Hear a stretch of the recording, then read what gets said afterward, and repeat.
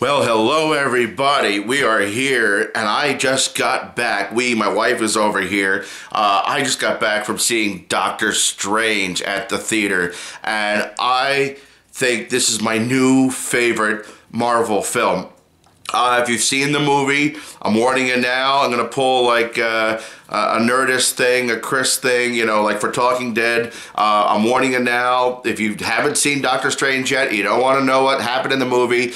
Go away, watch this video in 24 hours, 48 hours, because uh, there will be spoilers. Uh, there will be blood. Um, I went into this movie with high expectations, and it's probably the first movie I've seen in years where I went in with high expectations and walked out with every expectation met. Oh, good, everybody left my Periscope. uh, I everybody. I I went into this movie with high expectations and left uh, elated I, there's been a lot of movies like Dawn of Justice where I went in expecting crap and was like, I'm okay with this. It's still crap, but I'm okay with this. I went in, you know, a lot of Avengers movies thinking, oh, it's going to be the best movie ever. It was like, it was okay. It was good. It was still entertaining. It's a great two hours, two and a half hours, three hours in some cases of, you know, distraction from the world. And uh, it was two hours without politics. Tonight surpassed all expectations for this movie, Doctor Strange.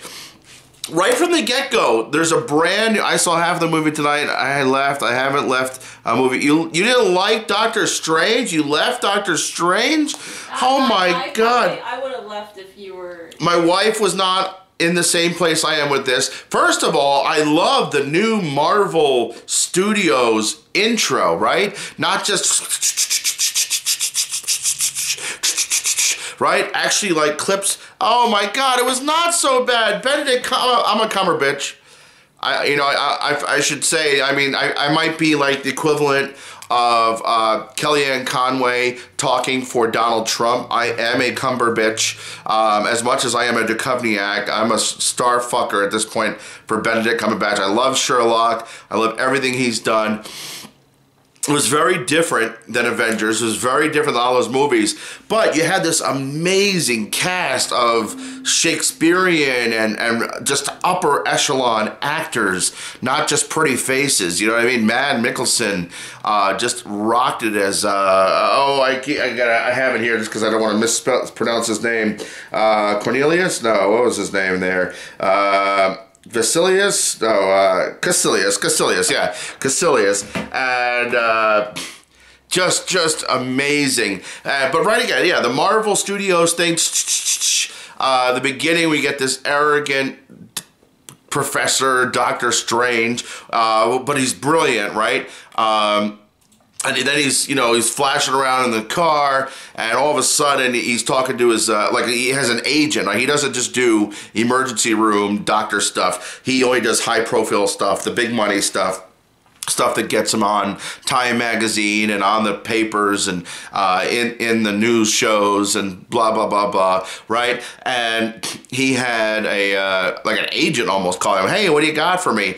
And the first thing he said, well, I got this uh, colonel with a spinal injury from an exoskeleton. I says, holy shit, he, he just turned down War Machine. He, like, ah, did you realize it was an Avenger? You're turning down War Machine? You're not going to help? Oh my God, you're not going to help him out? That, that's just wrong. He says, nah, it doesn't sound like high profile enough for me. And then he's looking at things and he gets in this horrible accident. He's got all these pins and needles, needles and pins, yeah, in his hands. And, and then he goes to Kathmandu in search of magic because Benjamin Bratt uh, told him to. Yeah, Penguin, right? Benjamin Bratt, uh, you know, it was pretty good. I like Benjamin Bratt in this role. Uh, really, and what he does at the end, the very, very, very end, you know, the, what I mean, the very, very end, you know, the second clip. And uh, all right, I'm telling you the spoilers, so go away if you don't want to know spoilers. If you don't know what happened in the movie, if you haven't seen the movie yet, go see the movie. And now I will warn you that if you uh, have epilepsy or you have issues with things, right? It's all over the place. It's very Inception at times. It's hard to follow at times. Um, thank God, don't see this movie in 3D. I, I, might be wrong. I saw it in 2D, and it felt like it was almost in 3D. There's just so much going on. I felt if this was in 3D, I would have been throwing up. I mean, it really is. It's all over the map visually. Uh, but I love it. I, it's all over the map, but not in a bad way. Like, you have to realize, like, this is supposed to be, like, multi-dimensional shit, right? This is all over the place.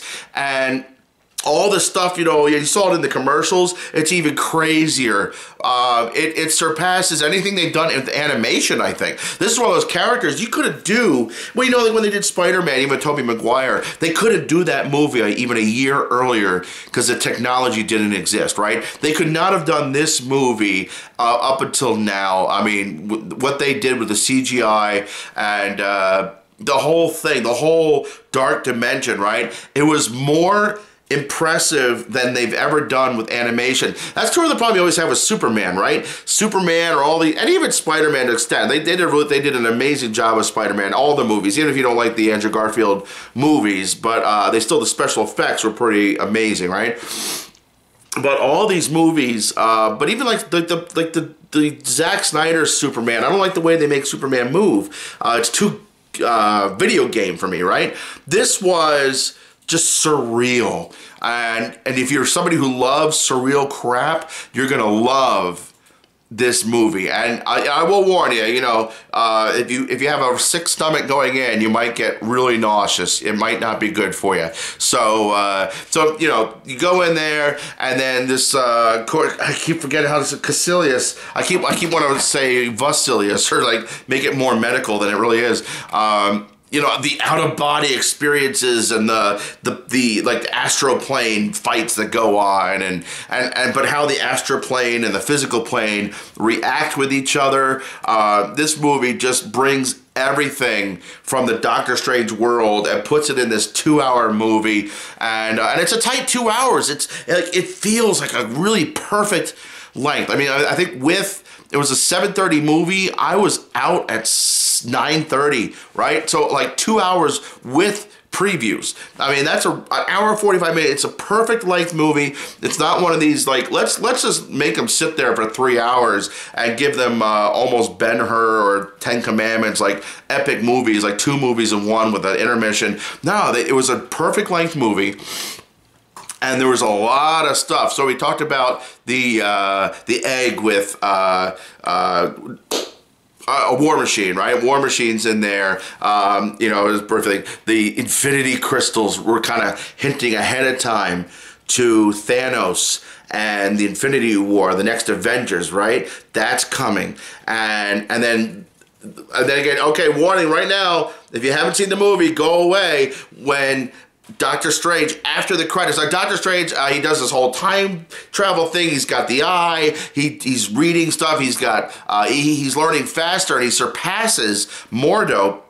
Mordo, okay, I'm warning you. Mordo's a good guy in this movie up until the very end. Uh, he's a good guy in this movie, and, and he's like his sidekick, kind of right, or like you know he's help, you know, helping each other, but he's teaching Doctor Strange. He's way ahead of him, but Doctor Strange is so brilliant. Uh, you know, Stephen's so brilliant. He's got that photographic memory and he could just learn stuff and he just grabs stuff. Oh my God, Benedict Wong. Benedict Wong. If you haven't seen Marco Polo on Netflix, Marco Polo, Marco Polo on Netflix, Benedict Wong as Genghis Khan.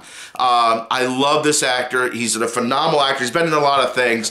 Uh, Oh my God, he's like the heart and soul of this movie. Benedict Wong in this movie is just amazing. I love this guy. I feel like my battery is dying. Oh, that's crap. I got four minutes on this battery. I better wrap. I'm doing a, a video video this. So uh, I don't know. I, I, swear it was charging up the whole time. So uh, Benedict Wong is in this movie, and he just wonder. And at the very end, uh, I, am not going to give that away. Go see the movie, but he, he's awesome. And then at the very end, we get through the credits. Right? There's two. There's two credit. That's like the new Marvel thing. It's like one's not enough. We need two. So the first one, it's Thor drinking this bottomless cup of ale, right? And talking about what's coming and why they had like their father is missing and they need to save. Um, and it, Loki and all of them are hiding in New York. Imagine all of the uh, realm uh, of are hiding in New York because that's going to be crazy, right? So that's coming. And then the second one, Mordo goes back to Penguin, Benjamin Bratt, and takes his magic away. Benjamin Bratt has all this magic that's keeping him from his spinal injury, from making him all paralyzed. And then Benjamin actually goes into that, oh, I'm all paralyzed again.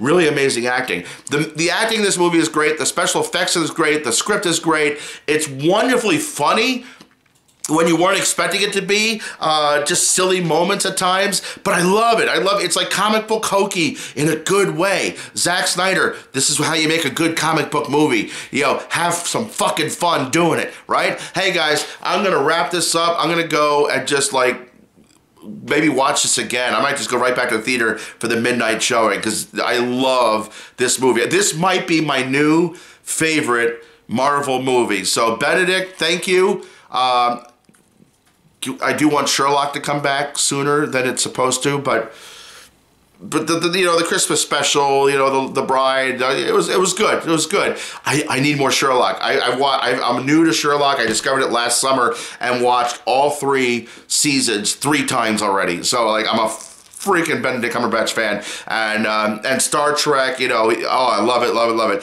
Hey guys, we'll see you soon. Check out indiefanboy.com. Check me out at Walt Frasier on Twitter, and we'll check you out soon. Yo!